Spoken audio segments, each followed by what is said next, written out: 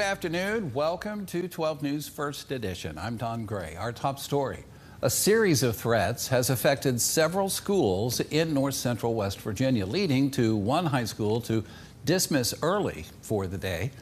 And according to a post from the Preston County Schools Facebook page, officials received an anonymous message this morning about a possible threat against Preston High School.